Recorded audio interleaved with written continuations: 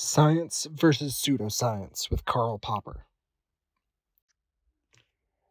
This video is part one of a new series I'm putting together on various topics within the philosophy of science. The first of these series will cover the problem of demarcation between science and pseudoscience. I do hope to do additional series like this in the future. I hope you enjoy it.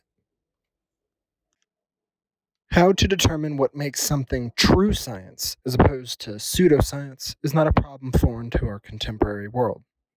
This problem of the demarcation or differentiation between science and non science was precisely the issue Karl Popper sought to address in his essay, originally presented as a lecture titled Science Conjectures and Refutations.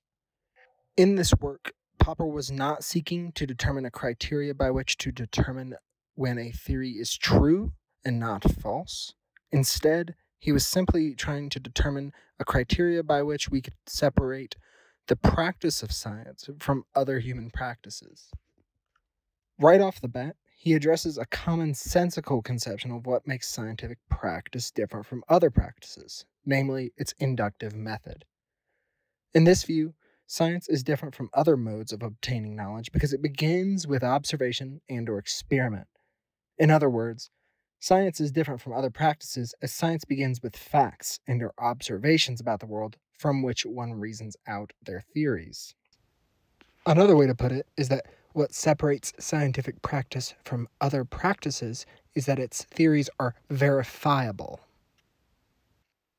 While this view can seem a likely candidate for demarcation on the surface, a few moments of reflection can quickly illustrate the problems with such a view. Astrology, an example given by Popper, too holds observation and induction to be a key pillar in its method, eh, but scarcely anyone would want to induct astrology into the realm of science. Other examples given by Popper include the Marxist theory of history, Freud's psychoanalysis, and Alfred Adler's individual psychology. Popper notes that, quote, the most characteristic element in this situation seemed to me the incessant stream of confirmations, of observations which, quote, verified the theories in question. A Marxist could not open a newspaper without finding on every page confirming evidence for his interpretation of history. He notes similar problems for Freudians and Adlerians. Seemingly any phenomena could be incorporated into their theories, even things which would seem to actively disprove their theories. He contrasts this with Einstein's physics, in particular, his ideas on gravity, which suggest that the gravity of the sun, or any body of enough mass, would distort the fabric of space time so that the light of stars behind the sun would appear beside it. Please don't at me, physicists and astronomers. I know this is grossly oversimplified. I'm just trying to illustrate a point.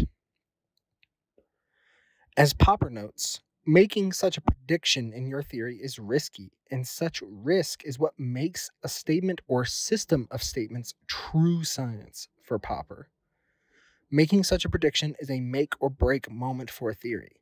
If it turned out that gravity didn't bend light around the sun, Einstein's theory, at least that limited aspect of it, would have been proven false. For Popper, this is how one can demarcate between science and pseudoscience, namely, by the former's falsifiable nature. If there is no observation that could prove a theory wrong, it's not science. This sort of conception of demarcating between science and its impostors, while certainly having some value, perhaps as a necessary but insufficient condition for the making of science, has faced severe criticisms on numerous counts. Some critics suggest that Popper shifts back and forth between two notions of falsifiability. The first, a descriptive notion of science that places falsifiability as a logical property of statements. A theory is scientific if and only if it makes at least one prediction that could be false. Then, in the second sense, there's falsifiability as a prescriptive norm a sort of ethical imperative for scientists, suggesting that scientists ought to try to falsify their theories. The problem here lies in the fact that where the second notion necessarily entails the first, If there's a scientist trying to falsify their theory, that requires there be a part of their theory that can be falsified. That entailment doesn't hold in the reverse. It's quite easy to imagine a theory, say that COVID 19 vaccines contain a microchip. Please don't censor me, YouTube. I am making fun of these people. They are literally a plague on society.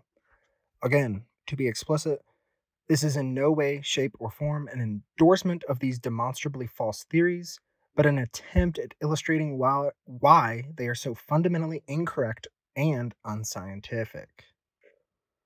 Again, imagine the theory that the COVID vaccines contain a microchip.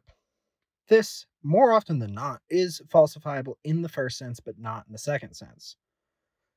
The COVID vaccine contains a microchip is a falsifiable statement. There are observations that could render such a statement false.